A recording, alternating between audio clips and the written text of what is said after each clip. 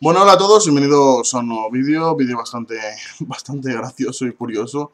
Y es que básicamente un tipo eh, compra un, televisor por Amazon, eh, concretamente un televisor de 39 pulgadas, eh, le cuesta 320 dólares si no, si no recuerdo mal. Y lo que recibe en su casa es básicamente un rifle de asalto SIG Sauer SIG 716, creo que se, creo que se llama, vamos, un rifle de asalto eh, totalmente, pues, difícil de, conseguir, por así decirlo, de alguna manera, de forma legal, es muy, muy, muy ilegal, el tipo, el tipo llamó a la policía y como no, pues la policía se lo, se lo retiró.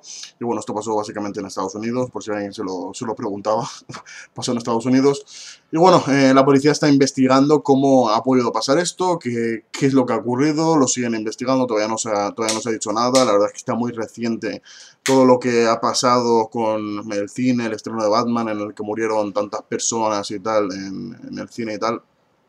Y la verdad es que conseguir armas así tan fácilmente, la verdad es que es una vergüenza enorme, sobre todo cuando lo que pides es un televisor. O sea, que recibas un rifle de asalto me parece muy, muy extraño, muy gracioso y no sé, no le veo ningún puto sentido por ningún lado, porque el tipo llamó a la policía, pero si se hubiera querido quedar el, arma, tendría ahí un arma totalmente muy peligrosa. Y bueno, nada más chavales, en la descripción tenéis eh, la noticia y nos vemos en el próximo vídeo. Hasta la próxima.